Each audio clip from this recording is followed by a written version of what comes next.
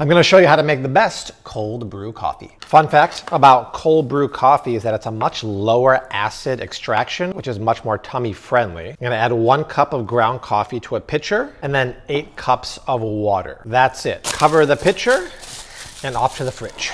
It's best to stash it in here for 24 to 48 hours. And it's 48 hours later. That looks good. I wish you guys can smell that. Now grab a fine mesh sieve and just strain the coffee from the grounds here. You might have to do this a few times to sift out the really fine pieces. Add some of the cold brew concentrate to a jar. I like to sprinkle in some cinnamon, then use a coffee frother. Grab your favorite plant-based milk. I love this Kiki Milk Macadamia Nut. Top it off, give it one more buzz. Add some ice, and there you go. Delish and cheaper than anything you can buy at the coffee joint. Perfect for a hot summer day. I'll type out the recipe. You got to make it.